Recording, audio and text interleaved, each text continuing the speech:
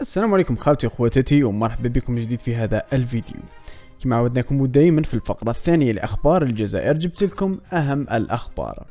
تمثال الأمير عبد القادر سيكون ثاني أكبر تمثال في إفريقيا وهذا يثير الكثير من الجدل. راح نتحدث على هذا الموضوع الموضوع أكثر. في الأخبار أيضا فرنسا فهمت أن الجزائر سئمت منها وزيارة تبون للبرتغال تغضب فرنسا كثيرا. أخيرا في الأخبار بطل جزائري آخر ينقذ عجوز في البلجيك. كانت ستموت غرقا. كما شفتوا خاوتي هذه هي أبرز عناوين أخبار اليوم. راح نشاركوها معكم في قناتنا إيكريك تي دي زد قبل ما نبدأ هذا الفيديو خاوتي أرجوكم ادعموا أخوكم بالضغط على زر الإعجاب. كل هذا راح يساعدنا نصدو لحملات ال signale للقنوات اللي راهي تترصد بنا. بلا ما نطول عليكم خاوتي هيا إلى الأخبار. في الخبر الأول راح نوريكم فيديو لبطل جزائري أنقذ عجوز في البلجيك كانت ستموت من الغرق. هذا البطل الجزائري لم يكترث لنفسه. كان البرد قارسا راح يجري ونقص في ذيك البحيرة باش يسلك هذيك العجوز اللي كانت راح تموت من الغرق. وهذا الفيديو الخاص بهذا الشاب الجزائري أثار تفاعلا إيجابيا كبيرا في البلجيك وفي الجزائر أيضا وأصبح حديث الساعة هناك. نخليكم تتفرجوا بعضا من المقطع. J'ai parti au, au, mosquée, elle était de 13h. J'étais avec un quelqu'un, je le connais pas, mais je l'ai fait salut, salut. Je te dis à lui, j'ai regardé la femme euh, dans l'eau. Regarde, regarde, elle, elle, est, elle mort. Lui, il dit non, elle, elle nage. Moi, direct, j'ai pas réfléchi, j'ai sauté. L'homme de 26 ans ne sait pas comment elle s'est retrouvée dans l'eau, mais la femme, qui est âgée, est en grande difficulté. Moi, quand j'ai sauté, elle est, c'est bon. Il reste des quelques une minute comme ça, c'est bon. Elle mort. Et en plus, euh, l'eau fait froid. Nadir raconte être resté dans l'eau avec la victime au moins 15 minutes en attendant les secours. Au centre des pompiers, il a dit tu es un héros. T'as sauvé une femme. وش رايكم خاوتي في هذا الموضوع؟ يعني رانا شفنا الكثير من الجزائريين الذين قاموا بأعمال بطولية في مختلف بقاع العالم. يعني هذاك الجزائري ما كان يستنى وهو أصلا مسكين راح من الجزائر حراق ولكنه أصبح بطلا في البلجيك فما رأيكم إخواني في هذا الموضوع؟ خبرونا لكم في التعليقات. الآن خلونا نروح للخبر الآخر. في الخبر الآخر فرنسا فهمت أخيرا أن الجزائر سئمت منها. وزيارة رئيس عبد المجيد تبون للبرتغال أغضبت فرنسا أو على الأقل جعلتها غايرة زعما شغل غارت منها. لأنه الآن فرنسا فهمت أن الجزائر تتخلى عليها شيئا فشيئا وبدأت الجزائر تثمن علاقاتها مع الدول الأخرى آه، التي ما كانتش تشوفها الجزائر كي كانت في يعني علاقات كبيرة مع فرنسا قبل سنوات. الآن الجزائر أصبحت تنظر خارج الصندوق وتقيم علاقات مع دول شمالا وجنوبا أو يمينا ويسارا وفرنسا لم تعد في الحسبان. أيضا الأمر الآخر اللي أغضب فرنسا هو الحديث عن تأجيل آخر يطال زيارة المرتقبة للرئيس عبد المجيد تبون إلى باريس والتي كانت مقررة شهر جويليا المقبل ولكن يبدو أنها هي الأخرى ستؤجل.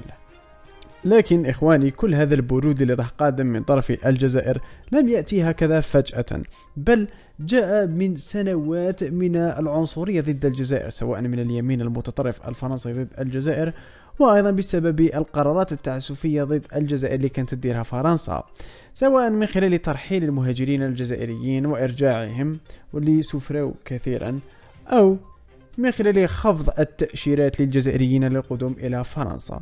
ما الجزائر غزرت وقالت ما لما نتوما مادام راكم حابين ما نجوش لبلادكم نتوما ثاني ما زيدوش تجيو لبلادنا وبدات الجزائر تبتعد شيئا فشيئا عن فرنسا.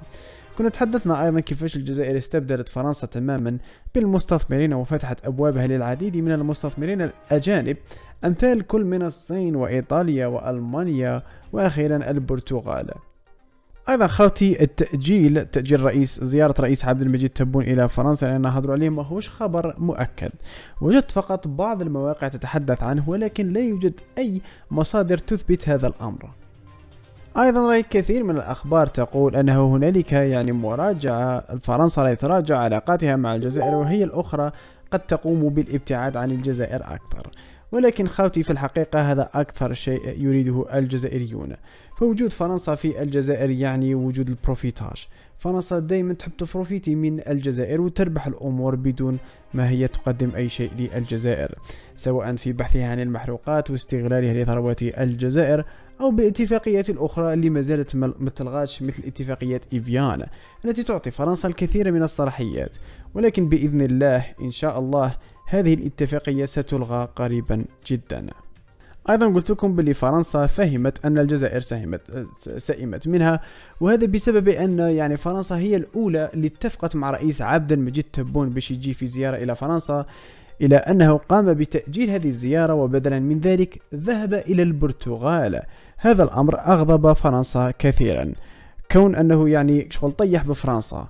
وقالها بلي انت ما كيش مهمة بالنسبة إلي بقدر أهمية البرتغال.